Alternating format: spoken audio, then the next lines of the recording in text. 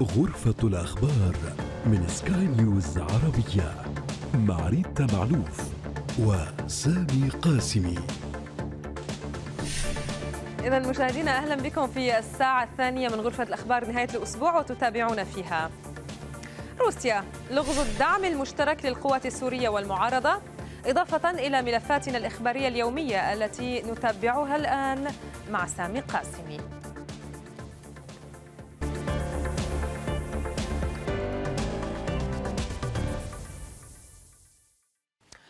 بدأت روسيا عملياتها العسكرية في سوريا وتطالبها الدول الغربية بتجنب قصف المعارضة المعتدلة. تتساءل عندها موسكو عن ماهية تلك المعارضة بل وطلبت أيضا من الغرب المساعدة في تحديد مواقع وجودها. اليوم تبدل الموقف وكأن روسيا عرفت ما كانت تجهله حيث كشف الرئيس الروسي فلاديمير بوتين عن أن بلاده تساند الجيش السوري الحر عن طريق تقديم الأسلحة والذخيرة والدعم الجوي في عمليات مشتركة مع القوات السورية في مواجهة داعش والجماعات المتشددة. على الرغم من تصريح بوتين هذا إلا أن الكرملين أكد أن روسيا تقدم السلاح فقط لما سمته بالقوة الشرعية في سوريا إلا أن تصريحات بوتين الأخيرة تبقى لغزا.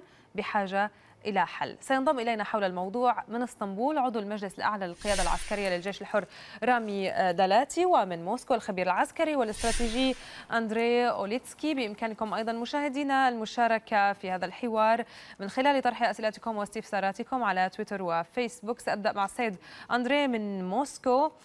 بوتين صرح اليوم ونقلته كل وكالات الأنباء أن روسيا تساند الجيش الحر في عمليات مشتركة مع قوات الحكومية السورية، الكرملين عاد وقال إنها تقدم فقط الدعم للجهات الشرعية.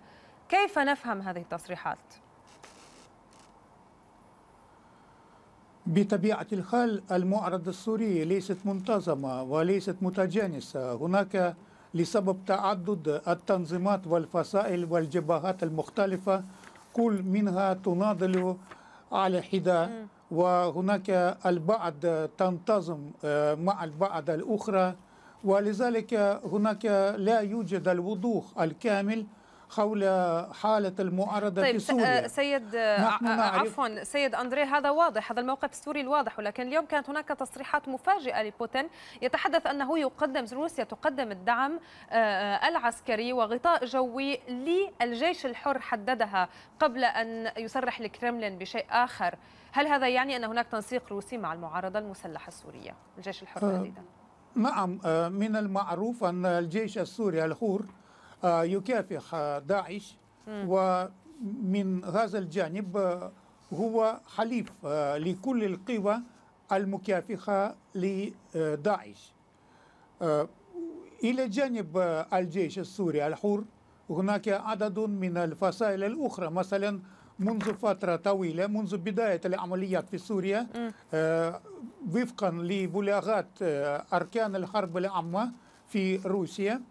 هناك التعامل يتم مع بعض الفصائل الأخرى للمعارضة بما فيها أولا وقبل كل شيء فصائل الأكراد وكذلك بعض العناصر من الجيش السوري الحر وهناك من هي؟ عدد من من هي هذه العناصر؟ من الأخرى. هي الفصائل هذه؟ بالفعل بطبيعة الحال عدد التنظيمات والفصائل والجبهات المعارضة في سوريا الآن يقدر ب 2500 وحتى زمن البرنامج للتلفزيوني لا يكفي لمجرد تحديد لا أقصد هذه لا كنت أقصد سيد أندري ما هي الفصائل التي تنسق معها روسيا الفصائل المسلحة؟ لأن روسيا كان دائما تقول ما تقوله حضرتك اليوم. هناك فصائل كثيرة ولا نعلم من هو المعتدل من الإرهابي واضح أن روسيا عندما تنسق مع فصائل إذا هي تقول أنه هذا هو الجيش الحر. من هو الجيش الحر بنظر روسيا؟ العسكريون لا يكشفون أسرارهم. وإلا فهناك لا معنى للعمليات العسكرية. ولذلك طبعا آه، لا من الصعب آه، تحديد بدقة المكان والزمان وتسمية العناصر التي تتعامل بها جيد. إذا العسكريون لا يكشفون أسرارهم. سنرى إذا كان عضو المجلس الأعلى للقيادة العسكرية للجيش الحر رامي دالاتي سيكشف لنا بعضا من هذه الأسرار. سيد رامي أهلا بك. معنا من ينسق من الجيش الحر مع روسيا اليوم؟ بوتين تحدث الكرملين بطريقة ما نفى ولكن على ما يبدو أنه تلميح أو إشارة إلى تنسيق روسي مع الجيش الحر. بسم الله الرحمن الرحيم. آه، اسمحي لي في البداية أن أوضح مسألة هامة جاءت في تصريح بوتين حيث قال أنه يقدمون الدعم لفصائل عسكرية على الأرض السورية ولم يقل للجيش الحر بالضبط. الجيش الحر إلى الآن لم يتدنس إطلاقا بأن يمد يده إلى الغزاة الروس ولا زال الجيش الحر يعتبر أن الروس هم محتلون ومتدخلون وغزاة للأرض السورية. لكن أقول وهذا ليس سر عسكري ما أقوله الآن هو الحقيقة وأنا أعلم بالأرض السورية من الضيف من موسكو. ما يقدمه الروس لدعم لفصائل عسكرية هي لفصائل البيدي التي هي جزء من جناح البيكيكي المنظمة الإرهابية المحظورة دوليا. وحقيقة هؤلاء ليسوا من المعارضة إطلاقا وخصوصا أن بشار الأسد منذ خمسة أيام قد صرح لمؤتمر في في لقاء صحفي مطول مع إحدى الصحفيات الغربيات. أنهم مدوا الأكراد في سوريا بالدعم والذخيرة والسلاح والمال كونهم يحاربون الإرهابيين في سوريا. إذا هذا إقرار رسمي من الأسد إقرار رسمي من الأسد أنهم دعموا هذه الفصائل العسكرية. إذا هم يدعمون فصائل تابعة للجيش النظامي السوري وتابعة لصالح مسلم والبيدي في شمال سوريا. أعتقد أن هذا أصبح واضحا بالنسبة طيب. للجميع أن الروس يدعمون الجيش النظامي ويدعمون الميليشيات التابعة له في شمال سوريا تذكر منذ بضعة أسابيع قبل أن تبدأ جولات جنيف والحراك السياسي هذا المكثف الذي شهدناه كان هناك عدد من الفصائل المسلحة في الجيش السوري الحر التي ذهبت إلى موسكو أليس كذلك؟ لا ليس صحيح على الإطلاق لا يوجد أي فصيل عسكري إطلاقا وأنا نفيت هذا سابقا على قناتكم وقلت أن الروس قد لمحوا إلى مثل هذا. الروس حاولوا أن يتوسطوا لدى الجيش الحر قلنا لهم عبر الوسطاء الذين أرسلوهم ليخرج الروس الغزاة أولا من الأرض السورية وبعد ذلك نفكر بالحوار. أما أن نتحاور مع المحتل لا يمكن هذا على الإطلاق ولم يذهب أي مجموعة من الفصائل العسكرية إطلاقا. وأنا عضو قيادة عسكرية وعضو المكاتب السياسية وأعرف تماما ماذا أقول. ذهب أشخاص من خارج سوريا لا قيمة لهم حقيقة في الجيش السوري الحر. هم ضباط سابقون أو لديهم صلات دولية. تواصلوا مع الروس لكن ليس لديهم أي طيب. قدرة على العمل العسكري وليس لديهم أي صلة عسكرية على الأرض السورية على الإطلاق. نحن إلى الآن لا زلنا نعتبر أن الروس في خانة المتدخل غير الشرعي وفي خانة المحتل ولا زالت إلى الآن الروس تستخدم داعش كشماعة والأمم المتحدة تقول أن العمليات الموجهة ضد داعش من الروس حتى هذه اللحظة لم تزيد عن آه، تتراوح بين 6 إلى 9% لكنها لم تصل إلى 10% بينما جميع الضربات التي وجهت من الروس إلى الأرض السورية كانت على الجيش السوري الحر المعتدل في إدلب وفي حماة وفي مدينة حمص وفي ريف دمشق. واليوم المعارك الكبرى التي يضربوها في درعا والجميع يعلم والجميع يعلم حتى في البرازيل يعلمون أن داعش تتموضع في شمال وفي شرق سوريا. فماذا تضرب روسيا في المنطقة الساحلية؟ أنت تعلمون أن أن الطائرة التي أسقطت منذ حوالي أسبوعين طيب. آه، كانت على حدود تركيا سوريا من ناحية البحر والجميع يعلم أن لا وجود لداعش لا على البحر ولا في المناطق الداخلية. داعش متموضعة في مناطق البادية والصحراء والمناطق النفطية بينما في شرق وشمال سوريا. إذا طيب سيد, سيد رامي آه، آه، فيما أنت تتحدث هناك تصريحات تأتي الآن من وزارة الخارجية الأمريكية أن واشنطن ليست متأكدة من تقديم الدعم الجوي بالنسبة للمعارضة السورية ولكنها متأكدة من دعمهم. بالسلاح كيف تعلق؟ لم أفهم السؤال بالضبط لم أفهم واشنطن السؤال. واشنطن تقول إنها غير متأكدة من أن روسيا قدمت دعم أو غطاء جوي للمعارضة المسلحة ولكنها متأكدة أنها دعمتهم بالسلاح يعني في سلاح يقدم من روسيا للمعارضة أنا بحسب أؤكد واشنطن. أن روسيا م. ليس للمعارضة أختي الكريمة روسيا تدعم فصائل PYD طيب. الفصائل الكردية لا تخلطوا بين المعارضة الجيش السوري الحر والفصائل المقاتلة لأجل الحرية والكرامة في سوريا وبين فصائل ال PYD الموجودة في الحسكة وفي بعض الأماكن الروس والنظام السوري نعم يقدمون السلاح والذخيرة والمال لفصائل صالح مسلم والتابع له أو ما تسمى كتائب الحماية الذاتية هؤلاء يقدمون لهم تماما وقد أقر الأسد بذلك في لقاء صحفي طيب أنت تنفيذ عليك سيد رامي. أنا لا أقصد أن أصر يعني عليك وأنتزع تعليق ما ولكن بحسب التصريحات التي تأتي الآن آه، هناك تعبير محدد استخدم وهو الجيش الحر. لم يجري الحديث عن أكراد لم يجري الحديث عن فصائل أخرى. يتحدثون الخارجية الأمريكية عن الجيش الحر. أنا أؤكد تماما ومن منطلق المسؤولية طيب. أن لم يقدم أحد لنا من الروس دعم على الإطلاق بل نحن لا نقبل كجيش حر بتلقي أي مساعدة من الروس ما لم تكن مساعدة واحدة هي لإسقاط النظام السوري. طيب سيد آه، أندري سأعود إليك.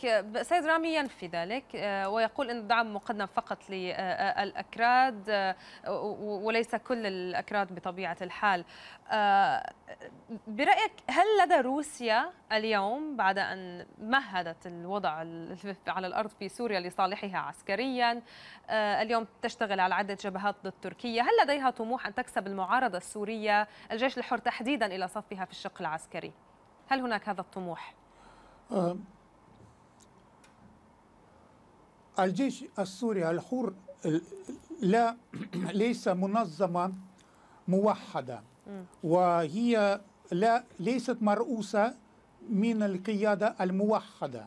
ولذلك هناك فصائل مختلفة في الجيش السوري الحر البعض من منها قد انتقلت إلى جانب داعش من المعروف هذا البعض منها الأخرى آه، انضمت إلى الفصائل الأخرى.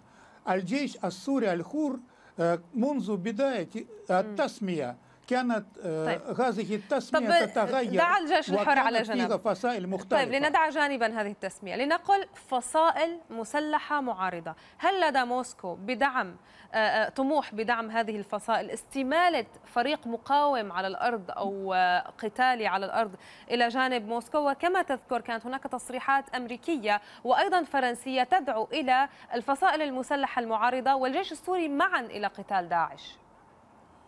نعم هناك تصريحات من أركان الحرب العامة للقوات المسلحة الروسية أن التعامل مع بعض الفصائل المعارضة بما فيها المعارضة المسلحة في سوريا آه هذا التعامل يتم بيننا منذ بداية أكتوبر.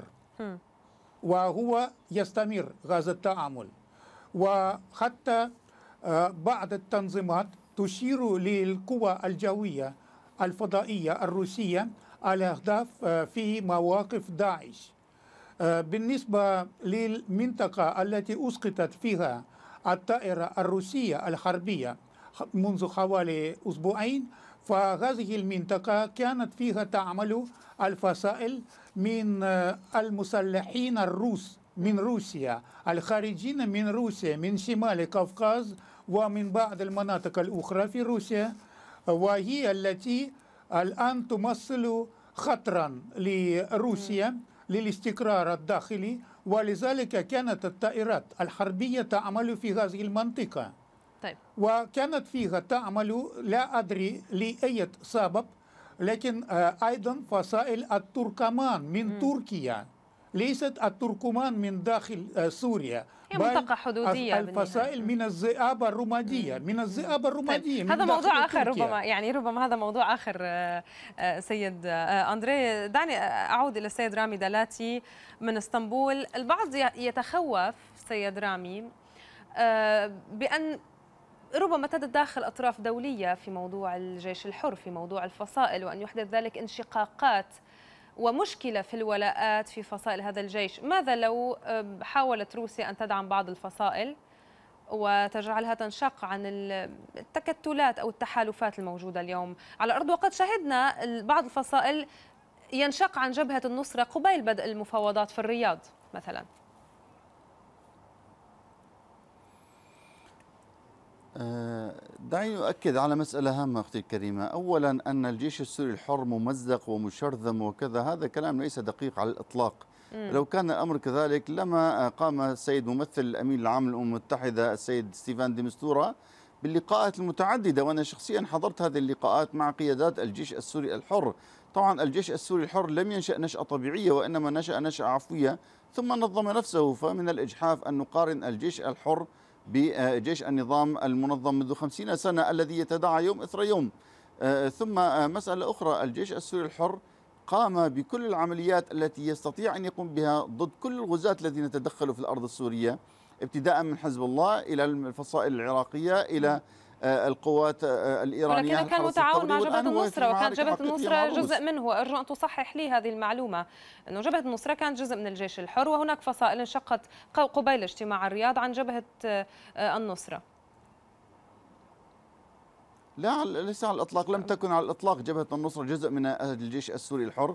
نعم أؤكد أن جبهة النصره موجودة على الأرض السورية. هي تقاتل جنبا إلى جنب مع كل الذين يناضلون ضد هذا النظام. نحن نختلف مع جبهة النصره من الناحية الإيديولوجية لكن آه، الغريق لا يسأل عن هوية المنقذ. الآن نحن في حالة حرب حقيقية مع النظام السوري. الذي يضرب البراميل على الناس وبالتالي إذا استطاع الروس وغيرهم أن يلجم هذا النظام عن هذا الفعل فنحن لن نتعاطى مع أحد. ولكن أنتم أن اليوم مطالبون يا سيد رامي. عفوا. أنتم اليوم مقبلون المفروض على ما ما يشبه خريطة لحل سياسي. هناك اجتماع في الرياض هناك اجتماعات أخرى لتحديد المنظمات الإرهابية من عدمها. إن لم توضحوا موقفكم اليوم فلن تنالوا شيئا. وهذا المنقذ لن ينقذ بالعامية ببلاش. يعني هناك أهداف لكل شخص يقاتل. آه، بالنهاية. ماذا عن تفصيل هذه المنظمات في لنقل بالنسبة للجيش السوري؟ الحر البعض ينتقد حتى مشاركة البعض منها في قائمة التي خرجت عن مؤتمر الرياض. آه، أختي الكريمة نحن مع أي فصيل يقاتل لأجل مشروع وطني في سوريا؟ ونحن سنقف أي فصيل يقاتل لأجندة خاصة سواء حتى كانت لو كانت داعش أم عفوا أم حتى لو كانت. داعش حتى لو القاعدة عادي تقاتلون معها ل- لإسقاط النظام مثلا؟ آه، لو سمحتي أنت تقاطعيني أنا لا أفهم السؤال بالضبط بسبب تقول الصوت. أ- أكيد وسأوضح لك أكثر. تقول أنكم مستعدون للقتال مع أي فصيل سيد رامي. أ- و- وأنت تتحدث من موقع يعني من القيادة العليا العسكرية للجيش الحر. أسألك لا تمانعون في قتال أي فصيل حتى لو كان داعش مثلا حتى لو كان يدينكم بالإرهاب الذي العالم كله يعمل ضد هذه النقطة؟ طبعا أختي الكريمة نحن أول من قاتل داعش. أنت نسيتي مسألة مهمة أن الجيش السوري الحر هو الذي قاتل داعش بداية في إدلب وفي الساحل السوري. أنا قلت لك أننا سنقاتل ضد النظام وسنقاتل أي تنظيم يحوي مشروع خاص ولا يؤمن بالمشروع الوطني السوري. داعش هي حرفت مسار الثورة عن طريقها الصحيح وبالتالي نحن قاتلنا داعش في إدلب وفي حلب ولا زلنا الآن نقاتل داعش في حلب دون أي قرار دولي ودون أن يطلب منا من أي جهة رسمية. نحن قاتلناها بقرار سوري داخلي. قلت لك كل من يريد حرف مسار الثورة وبوصلة الثورة عن طريقها الصحيح نحن سنكون له بالمرصاد كائنا من كان ولن نؤمن بالأدلجة. ونحن شاركنا في الجيش السوري الحر في مؤتمر الرياض. بل وشاركت الفصائل التي يعتقد أنها متشددة مثل فصائل أحرار الشام وجيش الإسلام في دمشق. كل هذه الفصائل تؤمن بالمشروع الوطني السوري تؤمن بالتحرر. من لا يؤمن بالمشروع والإصلاحي السوري نحن سنتصدى له كائنا من كان. سنعتبره وجه لعمرة أخ... وجه. للعمرة الأخرى للنظام حقيقة. وصدرنا هذا الكلام في قرارات رسمية وفي بلاغات رسمية. ولكن مع وقلنا ذلك ذلك للعالم والعالم لو لم يكن مع ذلك هناك من يعتبر صدقنا لما دعانا إلى مؤتمر. أكيد ولكن مع ذلك هناك من ما زال يعتبر أن هناك فصائل إرهابية آه، قد شاركت في مؤتمر الرياض. وسأنتقل في هذه الفكرة إلى السيد آه، آه، أندري. آه، جهات كثيرة تستغل ذلك عدم الوضوح في موضوع الإرهابي من غير الإرهابي والجهات المتطرفة من عدمها. موسكو أولا قالت ذلك. ثم اليوم في تصريحات للرئيس السوري يقول آه، أن الشعب السوري طبعا كما يقول بحسب تعبيره لن يرضى التفاوض مع إرهابيين في إشارة إلى القائمة التي تعدها المعارضة. طيب ألا يعد ذلك عرقلة لجهود التوصل إلى حل سياسي من موسكو حليفة الأسد أيضا لأنه هناك تنسيق مواقف أكيد. أعتقد هو لم يقصد المعارضة كلها ولكن حتى الاستخبارات المركزية لا تستطيع التحديد الدقيق لما هي المعارضة ما يسمى بالمعتدلة وما هي المعارضة العامة وما هو حتى بما فيه الجيش السوري الحر الجيش السوري الحر أنا لا أوافق مع زميلي من إسطنبول. لأن الجيش السوري هذا معروف للجميع. لا ليس منظمة موحدة. بل فيها فصائل وتيارات وقيادات وفيها أفراد. بعضهم مميزون. بعضهم يعملون. بعضهم يتعاملون مع داعش بعضهم يتعاملون مع الفصائل الأخرى من المعارضة. آه، الطرف الروسي الذي يساعد الآن للنظام الشرعي في سوريا هو يهتم بالتعامل مع آه، طيب. على القاعدة البناء. التعامل البناء. بناء طيب سيد سيد أندري أيضا اود من- أود أن آخذ رأيك أيضا يعني بما أنه تحدثنا عن تصريحات الأسد رفضه للتعامل مع آه، فصائل معينة من المعارضة وصفهم بالإرهابيين. أيضا يقول إنه لا يخطط لترك سوريا وإن الشعب السوري أو غالبية الشعب بحسب تعبيره يؤيده. إلى أي مدى يعني ما دلالة هذه التصريحات في وقت حرج أو المفروض أن يكون بادرة لحل سياسي من نوع ما في هذا التوقيت؟ ما دلالة هذه التصريحات؟ هذه التصريحات تعني أن التعامل يجب أن ينطلق ليس من الحقد تجاه النظام القائم وتجاه شخصية آه، الأسد بل على أساس الحب للوطن آه، المصلحة الوطنية لسوريا. وهي لا تكمن في تمزيق البلاد وفي إخضاع البلاد للأطراف الأجنبية المختلفة. طيب. كما نرى طيب. الآن. شكرا جزيلا بكل الاحوال السيد أندري أوليتسكي الخبير العسكري الاستراتيجي من موسكو. سأعطي الكلمة الآن لسيد رامي دالاتي. لو ترد على هذا الكلام كنا نتحدث عن تصريحات الأسد الاخيره اليوم عن أنه غالبيه الشعب السوري تؤيده وانه لن يتعامل مع إرهابيين أو لن يتفاوض. ما رأيك في ذلك؟ طبعا هذا استمرار لحالة الوهم التي يعيشها هذا الرئيس منذ أول يوم في الثورة السورية. ولا زال يصدق هذه الكذبة حقيقة. وأنا حقيقة أقدر الوضع النفسي الذي يحياه هو مضطر للحديث عن رامي هذا سأقاطعك لأنه المستوى عندي سؤال هنا. التأييد. هل تعتقد أن هذه تصريحات الرئيس تفضلي. نفسه أم هي تنسيق روسي معه؟ آه، أنا لوضع أعتقد أن هذا تنسيق روسي لأن الرئيس لابد أن الرئيس لابد أن يتمظهر الآن بمظهر القوة في ظل الشعور المتعاظم لدى أتباع الرئيس أو الطائفة المؤيدة أو المجموعة المؤيدة. وهم بعضهم على تواصل معنا بشكل مباشر. هناك حالة من التداعي كبير فإذا ظهر الرئيس بمظهر أكثر ضعفا من هذا وخصوصا بعد الزيارة البائسة لموسكو التي ظهر فيها الرئيس وكأنه موظف أمام الروس. شعر أتباع هذا النظام أن أيام الرئيس باتت محدودة في آه، منصب رئيس جمهوريه سواء كانت أيام أم شهور. هو الآن ما زال يعيش أو يحاول أن يظهر أتباعه أنه يعيش هذه الحالة. هناك حالة فرار كبيرة من الجيش السوري. هناك حالة آه، آه، أخذ إلى الجندية بشكل إلزامي حتى من الطائفة المؤيدة للرئيس. هناك حالة متعاظمة طبعاً. لدى المؤيدين أن الروس تدخلوا يقول حتى حل سياسي. ثم يخرجوا الرئيس مباشرة. نعم أشكرك جزيلا آه، رامي آه، دالاتي عضو المجلس العسكري الأعلى للجيش السوري الحر من اسطنبول. شكرا على المشاركة معنا في حوار آه، هذا اليوم. إذا تتابعونا مشاهدينا ما تبقى من غرفة الأخبار نهاية الأسبوع بعد قليل.